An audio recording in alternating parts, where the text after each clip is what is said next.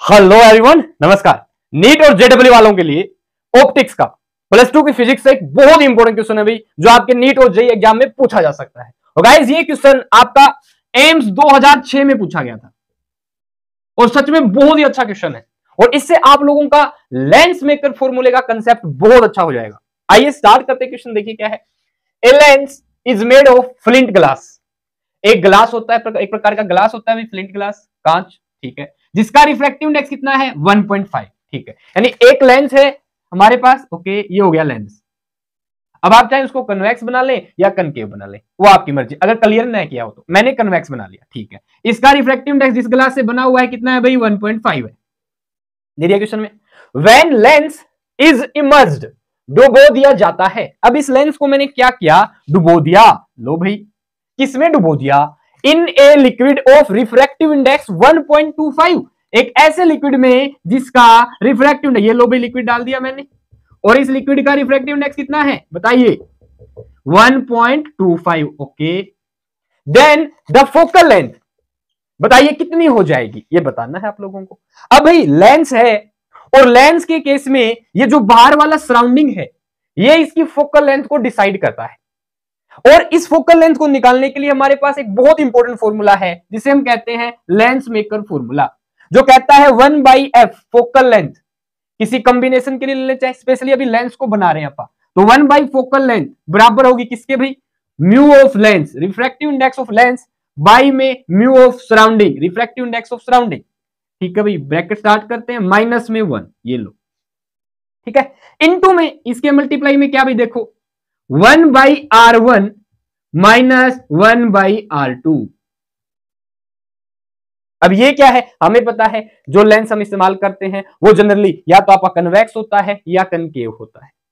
अब मिरर में plane mirror plane होता है। हाँ हम लेंस के अलग अलग कॉम्बिनेशन बना सकते हैं बट जनरली यही इस्तेमाल करते हैं। तो इनकी ये जो रेडियस ऑफ़ कर्वेचर होती है, ये वाली, और हम कह सकते हैं ये वाली। दो करो बनती है, एक ये करो बन रही है, इसकी रेडियस हम लेके चल लेते हैं आर वन ये वाली जो कर्बन रहती है बनती है इसके लिए लेते हैं आर टू या आप, आपका मन करे उस हिसाब से इसको आर वन मान लो या इसको आर टू मान लो। एक नेक्स्ट वीडियो में एक न्यूमेरिकल आएगा भाई उसमें अटेम्प्ट करेंगे हम ये बात कि आर वन और आर टू का क्या इफ़ेक्ट रहता है यहाँ पे। ठीक है? यहाँ आप किसी को भी आर वन मान लो किसी को भी आर टू या आर वन आर टू कब मानेंगे। वो डिपेंड करता है ऑब्जेक्ट की पोजिशन लेते हैं तब भी। ठीक है? वो नेक्स्ट वीडियो में बहुत अच्छा न्यूमेरिकल वो आप देखना। अब आ जाओ हमारे पास यहाँ।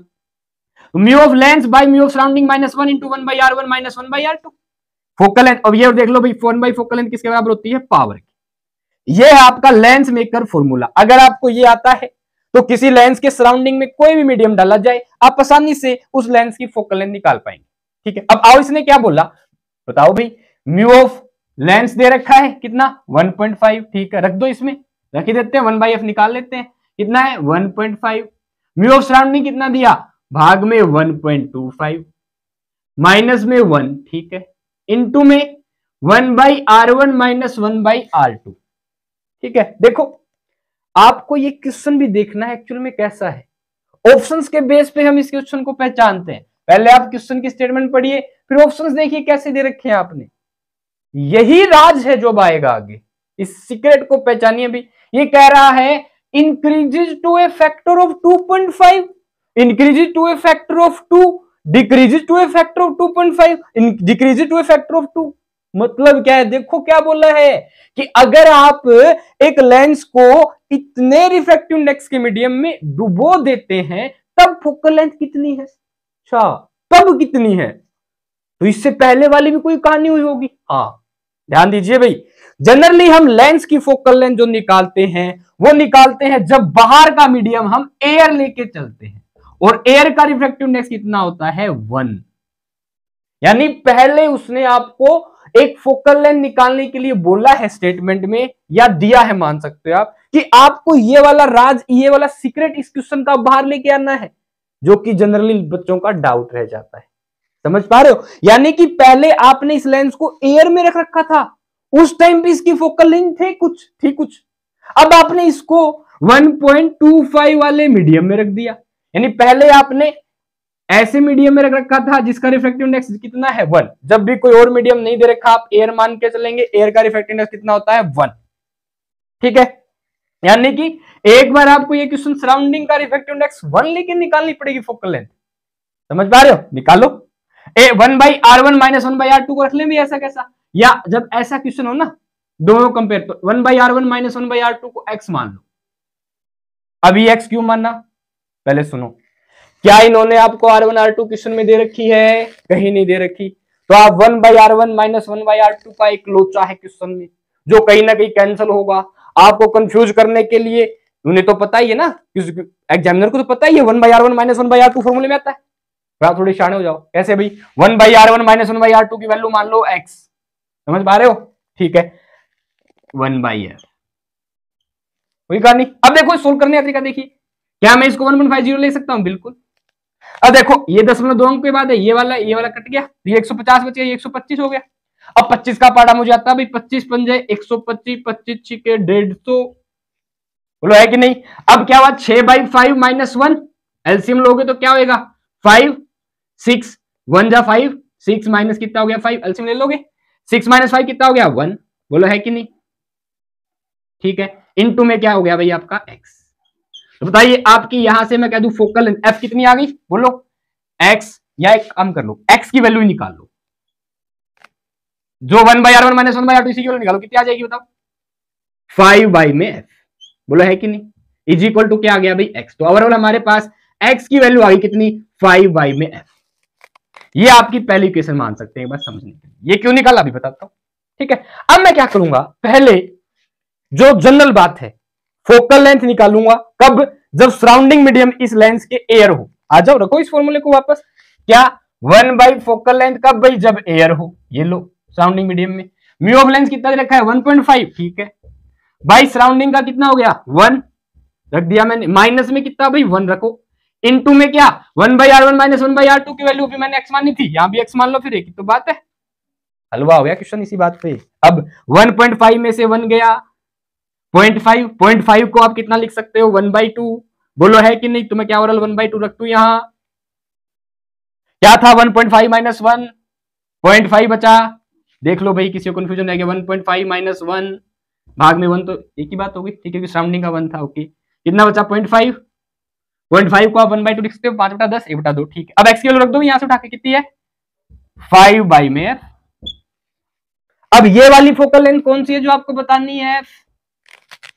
जब रिफ्लेक्टिव इंडेक्स सराउंडिंग का कितना था? 1.25 क्वेश्चन की मॉडिफिकेशन बताऊँगा। अपनी कॉपी निकाल के इसकी प्रैक्टिस करो जल्दी से। क्या और कैसे क्वेश्चन आपसे पूछे जा सकते हैं? जल्दी देखो क्या कहानी है।